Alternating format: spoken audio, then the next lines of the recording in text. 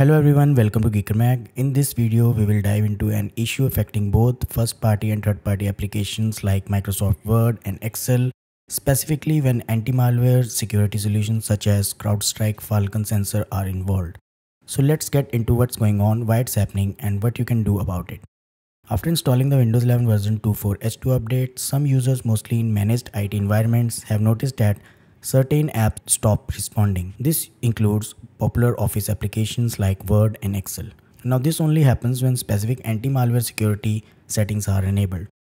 What's behind this issue? Well, the problem seems to occur when organizations are using CrowdStrike, Falcon sensor software, along with enhanced exploitation visibility prevention policy setting in their prevention policy. If you're running a device with this configuration, the apps might stop responding after upgrading to Windows 11 2.4H2. But before you panic, here is the important part. This issue mostly affects organization and IT managed environments. So if you are a regular user with personal device running the home and pro edition of Windows 11, you likely won't face this problem. Most reports of this issue came from organizations that performed in-place upgrade or clean installation of uh, version 2.4H2. However, Microsoft and CrowdStrike are still investigating whether this problem might occur with previous Windows version or other security software.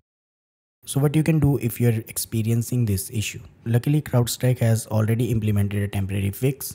They have disabled the enhanced exploitation visibility prevention policy setting for hosts running Windows 11 version 2.4H2.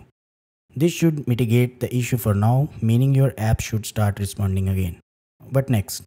Well, Microsoft and CrowdStrike are actively working together on a long-term solution. Microsoft has promised to update their documentation as soon as a permanent fix or a Windows update is available. So keep an eye on future updates from both Microsoft, CrowdStrike, if you are an IT admin or part of managed organization. Whenever we get more update on this issue, I will create a video as well. So that's all for today's video. And if you find this video useful, don't forget to like this video and subscribe the channel to get notifications about more similar videos. Thanks for watching.